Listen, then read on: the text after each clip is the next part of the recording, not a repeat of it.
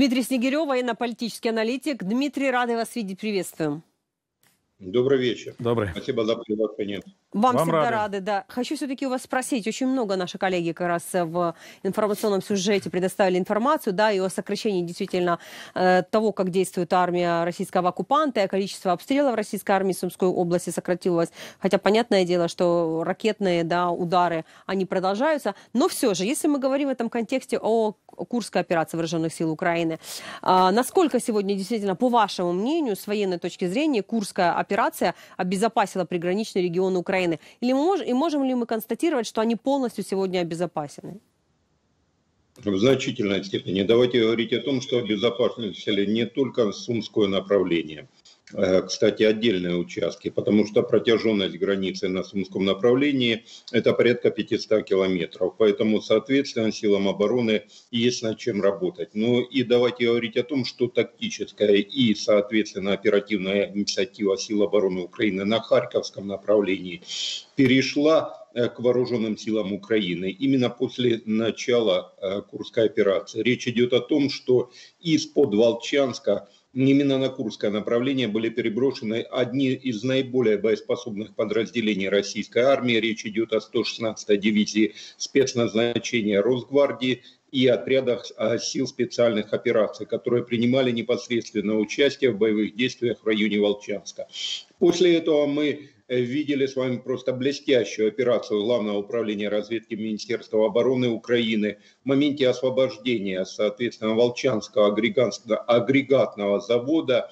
И дальнейшего продвижения как в самом Волчанске, так и, соответственно, успешного характера контратак в районе Липцы и Глубокое. То есть э, речь идет о том, что силам обороны Украины удалось не только приостановить российское наступление вглубь Харьковской области, но и, соответственно, постепенно, поэтапно начать отвоевывать территории, которые до этого времени, длительное время находились под контролем э, российских оккупантов. Кроме этого, давайте говорить о том, что э, я услышал мнение коллег о передислокации, соответственно, и сил э, Э, с Ленинградского округа, Московского округа, но речь идет о том, что на Курском направлении силы обороны Украины фактически уничтожают одни из наиболее э, подготовленных в профессиональном смысле части российской армии. Речь идет о бригадах морской пехоты 810-я, 155-я.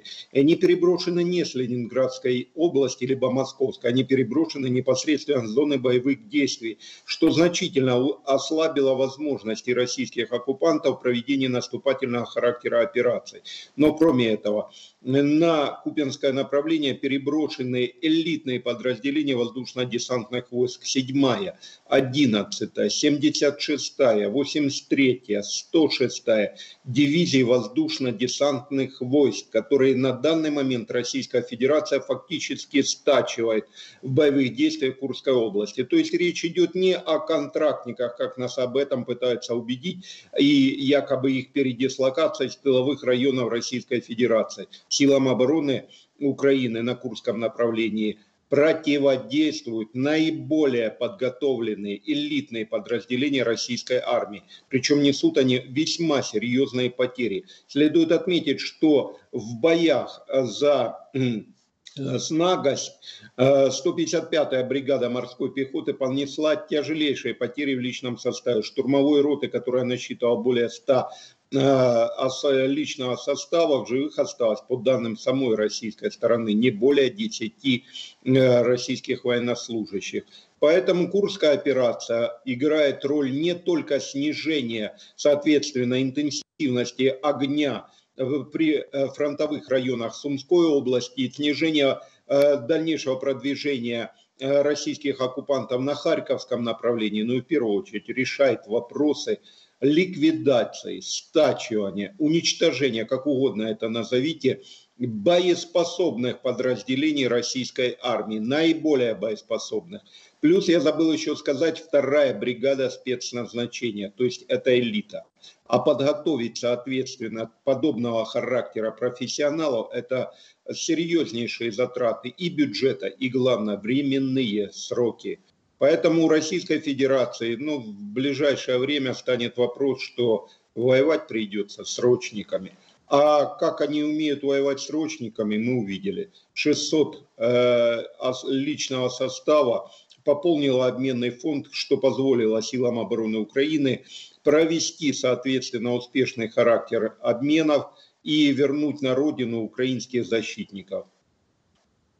Скажите, Дмитрий, хотелось бы далее, знаете, поговорить о том, как в целом на развитие ситуации в Курской области может повлиять разрешение на использование западного оружия по военным целям в России. Это решение может быть принято до начала зимы. Такое мнение озвучил министр иностранных дел Великобритании Дэвид Лэми в интервью «Голосу Америки».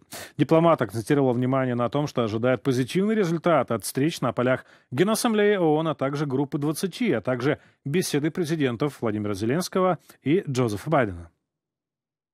Я ожидаю, что в ближайшие дни и недели мы будем иметь очень сильную позицию, чтобы обеспечить Украину всем необходимым, поскольку мы приближаемся к этой трудной зиме 2025 года. Украине уже удалось отвоевать половину захваченных земель. Ей уже удалось выбить Путина с Черного моря. Она пошла в наступление в Курской области и, надеюсь, удержит эти позиции. На самом деле именно сейчас тот момент, ведь мы переходим с осени в зимний период, когда Запад должен продемонстрировать свою смелость и абсолютную преданность. Дэвид Леми, министр иностранных дел Великобритании, в интервью «Голосу Америки».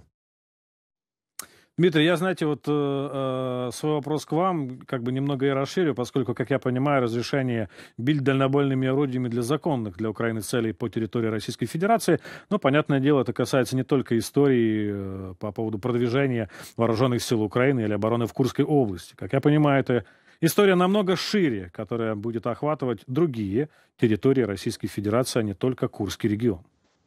Абсолютно. И давайте продолжим. Соответственно, э, те данные, которые озвучены были министром иностранных дел Британии по поводу ситуации в Курской области на позитиве.